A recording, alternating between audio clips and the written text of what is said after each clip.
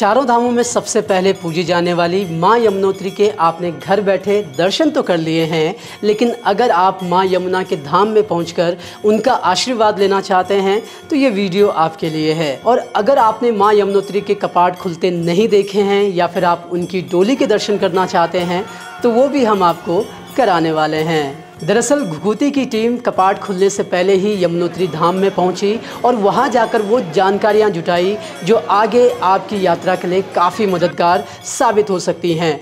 अब इस वीडियो में हम आपको बताने वाले हैं कि कैसे आप यमुनोत्री धाम की यात्रा पूरी कर सकते हैं। आपको किन किन बातों का ध्यान रखना है और क्योंकि यमुनोत्री में छः किलोमीटर का ट्रैक होता है, इस ट्रैक के दौरान आपको किन गलतियों से बचना है ताकि आप आराम से और स्वस्थ मस्त होकर के यमुनोत्री धाम में पहुँच सकें हम आपको यमुनोत्री धाम की पूरी गाइड दे रहे हैं और साथ ही बता रहे हैं कि जब आप यमुनोत्री धाम में पहुँच जाओ तो वहाँ आपको कौन सी गलती नहीं करनी है। घुगुती का ऑफ़िस देहरादून में स्थित है।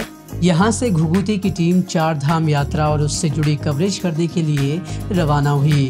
हमारा जो रूट था वो देहरादून से शुरू हुआ, लेकिन अगर आप यमुनोत्री माँ के दर्शन के लिए जा रहे हैं तो आपके पास दो रूट का ऑप्शन अवेलेबल होता है। पहला, आप ऋषिकेश से चंबा धरासू बैंड होते हुए बड़कोट पहुँच सकते हैं। बड़कोट से आपको जानकी चट्टी पहुँचना होगा और यहाँ से यमुनोत्री धाम के लिए पैदल यात्रा शुरू होती है। लेकिन अगर आप पहाड़ों की रानी का भी दीदार करना चाहते हैं तो आप मसूरी से भी जा सकते हैं। घुघुती की टीम मसूरी वाले रास्ते से गई। देहरादून से आप मसूरी की तरफ़ जाएँगे। मसूरी में आप कैंपटी फॉल देखने जा सकते हैं, या फिर हमारी तरह ऊपर से ही तस्वीरें खींचकर आगे बढ़ सकते हैं। रास्ते में प्राकृतिक सुंदरता का आनंद लेते जाएँ। मसूरी से बड़कोट करीब बयानबे किलोमीटर है। अगर आप लगातार चलते रहे तो करीब तीन घंटे में बड़कोट पहुँच जाएँगे। जो आपका पहला पड़ाव होगा। और अब यहाँ से हम जा रहे हैं बड़कोट से जान की चट्टी। जान की चट्टी में थोड़ा सा देखेंगे। वहाँ पर एसडीएम से मिलने की कोशिश रहेगी और उसके बाद सीधे यमुनोत्री के लिए निकल जाएँगे। लेकिन अगर आपके पास थोड़ा एक्स्ट्रा समय है तो आप रास्ते में पड़ने वाले लाखा मंडल भी जा सकते हैं। ये मेन रोड से करीब तीन से चार किलोमीटर अंदर है। खूबसूरत पहाड़ियों के बीच बसे लाखा मंडल में आपको न सिर्फ़ शिव भगवान मिलेंगे, बल्कि पांडवों के निशान भी आपको यहाँ मिल जाते हैं। लेकिन वक्त की कमी के चलते ना जा पाएँ तो कोई बात नहीं, क्योंकि घुघुती की टीम ने लाखा मंडल से आपके लिए कई स्टोरीज लाई हैं, जो जल्द ही आपके बीच होंगे। यात्रा के दौरान पहले दिन आप बड़कोट पहुँचेंगे। आज यहीं विश्राम करिए या फिर वक्त है तो जान की चट्टी पहुँच भी आप रुक सकते हैं। यहाँ पर आपको किफ़ायती दरों पर अच्छे होटल भी मिल जाते हैं।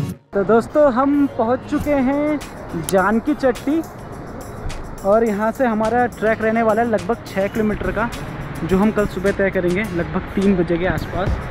बड़कोट या जान की चट्टी में रात में आराम करके आप कोशिश करिए कि सुबह जल्दी निकलें। सुबह जल्दी निकलने का फ़ायदा ये होता है कि आपको कम भीड़ मिलेगी। दरअसल यमुनोत्री तक जान की चट्टी से छः किलोमीटर का पैदल ट्रैक है। ये ट्रैक, केदारनाथ के ट्रैक के मुकाबले काफ़ी संकरा है, इसलिए जितनी कम भीड़ के बीच आप जाओगे, उतनी बेहतर आपकी यात्रा होगी। घुघुती की टीम, यानी कि मैं और मेरे साथी पंकज और सूरज सुबह तीन बजे निकले। तो अभी सुबह के तीन बज रहे हैं। विकास सर पीछे तैयार हो चुके हैं, और मैं भी तैयार हो चुका हूँ। चलो, शुरुआत हो चुकी है। बस अब यमुना माँ का आशीर्वाद है, और जिस टास्क के लिए आए हैं, वो टास्क अच्छे से हो जाए। दैट्स वोट वी वांट कि हम आपके लिए अच्छे कंटेंट पेश कर सकें, अच्छी चीज़ें ला सकें। कपाट खुलने का पूरा दृश्य आपको दिखाएँगे। होपफुली एवरीथिंग गोज़ वेल हमारे लिए इतना जल्दी निकलना इसलिए ज़रूरी था क्योंकि हमें वहाँ शूट भी करना था। लेकिन आपके लिए चार से पाँच बजे तक निकलना ही बेहतर है। अगर आप पैदल नहीं जा पाते हैं तो घोड़ा, खच्चर और डंडी कंडी का विकल्प भी यहाँ मौजूद है। लेकिन ये आपको सुबह पाँच या छः बजे के बाद ही मिल पाते हैं। अगर आप पैदल ही तड़के सुबह ट्रैक कर रहे हैं तो साथ में एक टॉर्च ज़रूर रखें क्योंकि सुबह में काफ़ी अंधेरा होता है। जब हम पैदल यात्रा कर रहे थे तो हमें रास्ते पर कई जगह चट्टान से पत्थर गिरे हुए मिले अगर आपके पास उजाला नहीं होगा तो अंधेरे में आप चोटिल हो सकते हैं। यमुनोत्री का ट्रैक भले ही कम यानी कि छः किलोमीटर का नज़र आता हो, लेकिन यहाँ चढ़ाई काफ़ी ज़्यादा है। इसलिए अपने साथ ड्राई फ्रूट्स, पानी, ग्लूकोज, गर्म कपड़े और थोड़ा सूखा नाश्ता ज़रूर रख लें। साथ ही रेनकोट भी रख लें, क्योंकि बारिश कभी भी यहाँ पर हो सकती है। ट्रैक आराम आराम से करें। जहाँ संभव हो, वहाँ विश्राम करें। आप करीब दो से तीन घंटे में यमुनोत्री धाम पहुँच जाएँगे। दोस्तों टाइम हो रहा है साढ़े पाँच। और हम लोग हम लोग उस जगह पहुँच चुके हैं जहाँ से शुरू होती है चार धाम यात्रा की ये भव्य यात्रा। आप देख सकते हैं मात्र मात्र 200 मीटर दूर है अब यमुनोत्री का वो धाम जहाँ से निकलती है माँ यमुना। अब हम जा रहे हैं वहाँ पर। हम, हमारी कोशिश रहेगी कि आपके लिए भी हम यहाँ पर अच्छे से यमुना माँ को आपको दर्शन करा सकें कपाट खुलने के बाद में। सारी चीज़ें हम आपको दिखाने की कोशिश करेंगे। आई होप आप हमसे जुड़े रहिए और हम आपके लिए बेहतरीन से बेहतरीन कंटेंट और माँ के दर्शन करवाएँगे आपको। कुछ बताइए ट्रैक के बारे में सर कैसा ट्रैक था? ट्रैक में बहुत बढ़िया था थोड़ा सा उका उंदार इसको बोलते हैं ऊंचाई और चढ़ाई दोनों चीज़ें हैं यहाँ पे।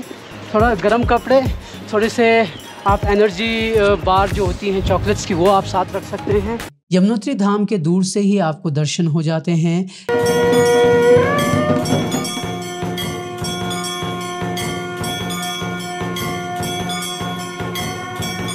यहाँ आपको होटल मिल जाएँगे, जहाँ आप चाय पानी पीकर दर्शन के लिए जा सकते हैं। इन्हीं दुकानों और होटलों पर आपको प्रसाद भी मिल जाएगा। साथ में चावल की पोटली भी ज़रूर ले लीजिएगा। प्रसाद लेने के बाद सबसे पहले गर्म कुंड में स्नान करके आप अपनी थकान मिटा सकते हैं। यहाँ पुरुषों और महिलाओं के लिए अलग अलग कुंड हैं। स्नान के बाद आप माँ यमुना के दिव्य दर्शन कर सकते हैं। हम लोग क्योंकि कपाट खुलने से पहले पहुँचे थे तो हमने माँ यमुना की डोली और कपाट खुलते हुए भी देखे। हमने तो दर्शन कर लिए, अब आप भी दर्शन कर लीजिए। माँ यमुना के दर्शन के लिए ज़्यादा लंबी लाइन नहीं लगती है। आराम से आप दर्शन कर लेंगे और दर्शन करने के बाद नज़दीक ही सूर्य कुंड है, जहाँ कहा जाता है कि खुद सूर्य देव का एक अंश विराजमान है। आपने जो चावल की पोटली लाई थी, उसे इस कुंड में पकाइए और प्रसाद के तौर पर लेकर जाइए। यहाँ पर आप चाहें तो पूजा पाठ भी करवा सकते हैं। पूजा करवाने के लिए पंडित भी आपको यहाँ मिल जाएँगे। कई लोग अपने बच्चों का चूड़ा कर, करने भी यहाँ पहुँचते हैं। माँ यमुना के दर्शन करने के बाद आप यहाँ पर दूसरी जगहों पर भी जा सकते हैं। सूर्य कुंड से ही थोड़ा नीचे है द्रौपदी कुंड। द्रौपदी कुंड के बाद आप दर्शन कर सकते हैं हनुमान जी का। यहाँ पर हनुमान जी का भव्य मंदिर है। आप चाहें तो माँ यमुना के उद्गम स्थल कालिंदी ग्लेशियर भी जा सकते हैं। हालाँकि यहाँ पहुँचने के लिए आपको आठ किलोमीटर का ट्रैक करना होगा। यमुनोत्री धाम के दर्शन करने के बाद वापसी भी उसी रास्ते से है जिससे आप गए थे। रास्ता काफ़ी छोटा और संकरा होने की वजह से यहाँ पर अक्सर जाम लग जाता है। आने वाले और जाने वाले दोनों ही इसी रास्ते से निकलते हैं। ऐसे में जल्दबाजी ना करें। लाइन में लगकर आराम से रास्ता पार करें क्योंकि यहाँ पर जल्दबाजी करने से आपको गंभीर चोट भी लग सकती है। अब वापसी में ये ज़रूर ध्यान रखें कि आप बहुत तेज़ ना चलें, क्योंकि ढलान में, पैरों और घुटनों में ज़्यादा ज़ोर लगता है। इसलिए आराम से उतरें और वापस जान की चट्टी पहुँचें। तो इस तरह यमुनोत्री धाम तक आपकी यात्रा पूरी हुई। अब अगर आप यहीं से वापस लौटना चाहते हैं तो आप अपने गंतव्य स्थान को निकल सकते हैं।